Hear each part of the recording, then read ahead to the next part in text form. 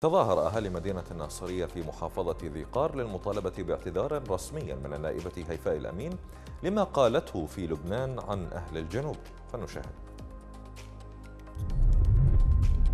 اليوم نستثمر وقفتنا هنا نرد على آه، الأمين. نقول لك يا أمين أنت خنتي الأمانة. إحنا مو متخلفين بالعكس. إحنا بلد بلد الثورات بلد الحرف الأول. إحنا أول أول كلمة طلعت منا أول حرف طلع من هاي المحافظة ومن الجنوب. البصرة حسن البصري. كل العلماء كل الثوار الأحزاب هاي الحزب اللي دخلت عن عن طريقه الحزب الشيوعي مؤسسا من الناصرية حزب البعث اللعين مؤسسا من الناصرية كل الأحزاب الوضعية الدنيوية الدينية اساسها الناصريه واساسها الجنوب فيا أختي أنت خطأتي في حق الناصرية في حق اللي انتخبوك وأنا أقول لك من جانب واحد أنت ما خطأتي إنه إحنا متخلفين لأن طيبين أكثر من اللازم. وهاي الطيبة وصلت إلى حد السذاجة والتفاهة اللي طمعتك أنت وغيرك بينا. يقول متخلفين.